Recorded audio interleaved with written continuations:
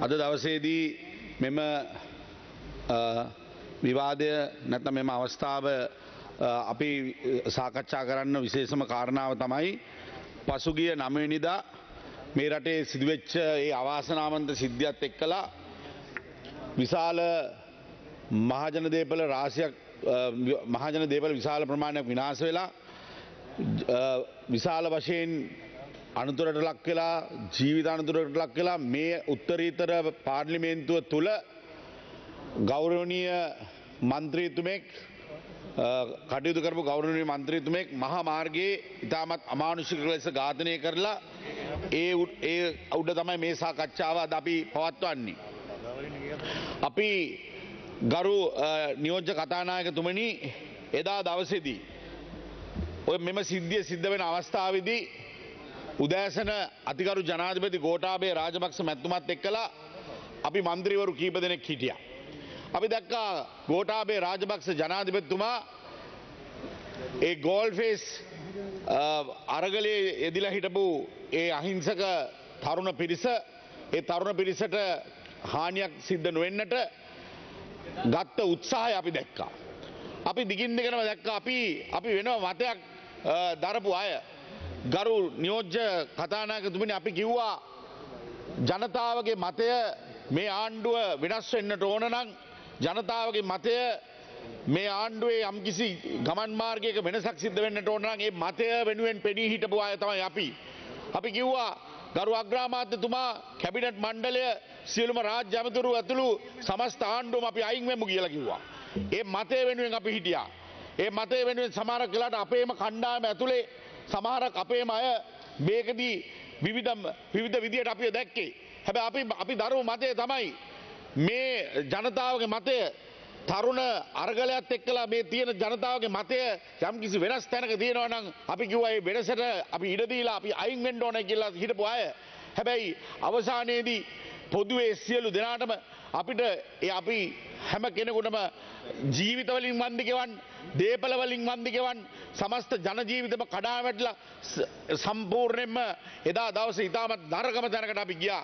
ගරු නියෝජ්‍ය කතානායකතුමනි මම මේ දේශමානට එන්නේ මගේ පියාගේ සහෝදරයා- සහෝදරයකින් මගේ පියාගේ සහෝදර එක්දා සමසය අනුහතරේ මගේ දිස්ත්‍රිකයේ පලවිනි තැන්ට ඇවිල්ලා එතුමා අ, හදිසි අනතුරකින් ජීවිතක්ෂයට පත් වුණාට පස්සේ ඒ ඇවෑමෙන් තමයි මම දේශපාලනට එන්නේ. මම දේශපාලනට එන්න හිටපු කෙනෙක් නෙමෙයි. මම ශ්‍රී ලංකා ගුවන් හමුදාවේ හිටපු ගුවන් නියමුවෙක්. ශ්‍රී ලංකන් ගුවන් සේවයේ හිටපු ගුවන් නියමුවෙක්. මම ඇත්තටම අද කනගාටු වෙනවා. එදා ඒ ඒක අතඇරලා දේශපාලනට එන්න සිද්ධ වීම ගැන මම කනගාටු වෙනවා. මට මතකයි අපි පාසල් යන කාලේ කොළඹ 1989 ත්‍රීමා විතානව ඝාතනය කරාට පස්සේ ඒ ත්‍රීමා විතානගේ අ, මිනිය කොළඹට අරගෙන එන අවස්ථාවේදී. අපි ඒ එදා ඒ තරුණ අරගලේ වෙනුවෙන් ඒ තරුණ අරගලේ වෙනුවෙන් අපි පෙනී හිටියා. අපි ඒ තරුණ අර්ගලයේ සාධාරණීකරණය කරන්න අපි පෙනී හිටියා. මෙ- මෙදා මෙදා වගේම තමයි 1989 දී වෙච්ච සිද්ධියේදී. අපි දැක්කා තරුණයන් තුළ විශාල සමාජ මතයක් වෙනස් කරන්න. එදා තිබිච්ච ආණ්ඩුවේ සමාජ මතයක් වෙනස් කරන්න තරුණීන් ඉදිරියට ආව එක ගැන අපි දැක්කා. ඒකත් එක්කලා අපි හිටියා. අපි පෙනී හිටියා. හැබැයි අපි දැක්කා ඒ වුණත් ජන එදත් ඒ තරුණ අරගලය දඩමීමා කරගෙන අතට අරගෙන එදත් ජනතා විමුක්ති පෙරමුණ අද වගේම ජනතා විමුක්ති පෙරමුණ එදත් ඒ තරුණ පිරිසව ඉතාමත් නරක දැනකට අරංගියා. අවසානයේදී හැට දහක් තරුණ පිරිස බල්ලො බලල්ලු වගේ පාරල්ල මරලදාපු යුගයක් අපි දැක්කා.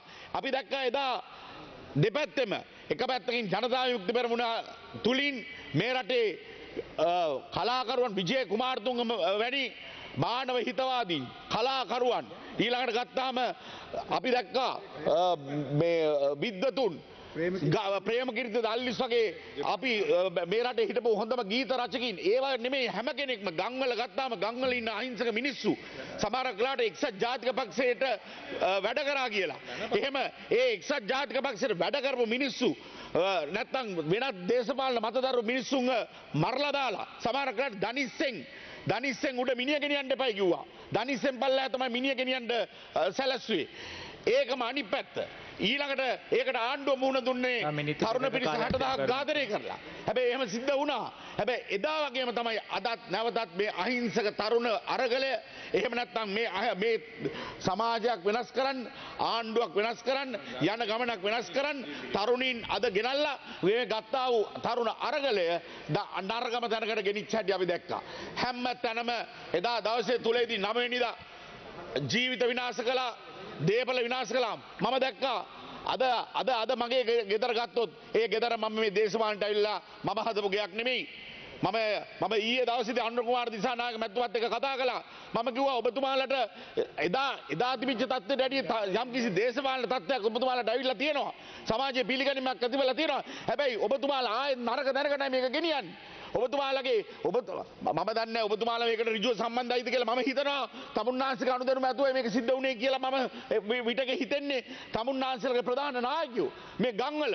අද අද අපිට මේ නන් ලයිස්සු පිටින් එනකොට තමුන්නාන්සලගේ නායකින්ගේ නං එනවා. ඉතින් මම මම මේක තමයි කිව්වේ.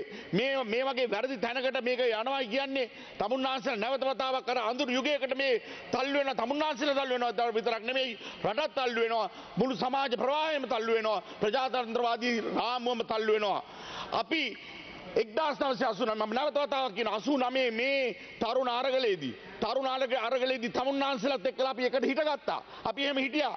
නන්දා මාලනිය යදමින් බැද විලංගුලා කියන ගීතේ අද ඔය කතා ග- ගායනා කරන ගීතේ. එදා අපි ගායනා කළා. අපි ඒ කණ්ඩායමත් එක්ක හිටියා. අපි මගේ මගේ ජීව විද්‍යා ගුරුවරයා ජිනේන්ද්‍ර පතිනායක තමුන්නාන්සලගේ පක්ෂි. මම පන්තියට යනකොට ඊළඟ දවසේ ගුරුවරයා නැහැ. ඊළඟ දවසේ පන්තියට යනකොට තරුණ පිරිස නැහැ. අපිත් එක්ක හිටපු යාළුවෝ නැහැ. දවල පත්‍රිකාව ගෙනා වෙලාවේ කොළඹ කොළඹ ඒ දවල පත්‍රිකාවට විරුද්ධව කොළඹ පාසල්වල එළියට ආපු තරුණයෝ ටික නැහැ. ඒ වගේ තරුණ පිරිස විශාල වශයෙන් 60000ක් ඝාතනය වුණා. අපි මේ මතය වෙනුවෙන් එදා හිටියා. ඒකම තමයි අද නැවත වතාවක් ඒ තරුණ පිරිසම මේ අහිංසක අරගලය කරද්දී එතනටම තමුන්නාන්සල් තල්ලු කරගෙන යනවා. විනාශකාරී තැනකට තමුන්නාන්සල් කාලය තල්ලු කරගෙන. යනවා. තමුන්නාන්සලගේ පිරිස තමුන්නාන්සල අද මේක සාධාරණීකරණය කරන්න බෑ. මුළු රටම දන්නවා. මුළු රටම දන්නවා මේකේ කවුද ඉන්නේ කියලා. අපේ ගෙවල් වල මේ ගෙවල් ඇවිල්ලා අපි දේශපාලනෙන් හම්බ කරපු ගෙවල් නෙමේ. මේ ගෙවල් මේ සමහරක් වෙලාවට අපිට උරුමෙන් ලැබිච්ච නැත්තම් මගේ අපේ අම්මා තාත්තා හදපු නැත්තම් අපේ සීයලා ආච්චිලා හදපු එහෙම ගෙවල්. ඒ ගෙවල් අපිට දේශපාලනෙන් හොරකම් කරලා සත්ත පහක් අපි අ, දේශපාලනේ හම්බ කරලා නැහැ. මට මෙයිට වැඩිය හොඳට. මම ගුවන්සේ වැඩ කරනම් ශ්‍රී ලංකන් ගුවන්සේ වැඩ කරනම් ගුවන් හමුදා වැඩ කරනම් මට මෙයිට වැඩිය හොඳට ඉන්න තිබ්බා. හැබැයි අපි මේ දේශපාලන ප්‍රවාහයට එන්නේ මොනහරි යමක් කරන්න ඕන හින්දා. දෙදස් හතරම වයම පලත් සභාවට ඉදිරිපත් වෙන්නේ මුලින්ම. වයම පළාත් සභාවේ අන්තිම මන්ත්‍රීවරයා හැටියට තේරිලා 2009 දී මම දිස්ත්‍රික්කේ පළවෙනියා වෙනවා. 2010 දී නැවතවතාවක් දිස්ත්‍රික්කේ දෙවෙනියා වෙනවා. තුන් ගමනක් මේ පාර්ලිමේන්තුවට එනවා. ඒ පාර්ලිමේන්තුවට ඇවිල්ලා අපි අපිට උවමනා වුණේ යමක් ජනතාව වෙනුවෙන් කරන්න. පුත්තලන් දිස්ත්‍රික් ජනතාව දන්නවා. අරුන්දික ප්‍රනාන්දු කිව්වම පුත්තලන් දිස්ත්‍රික්කේ ජනතාව දන්න සත පහක් අපි හම්බ කරලා නැහැ. ගරුමන්තුමා කාලය අවසන් වෙලා මට දෙන්න මට දෙන්න ගරු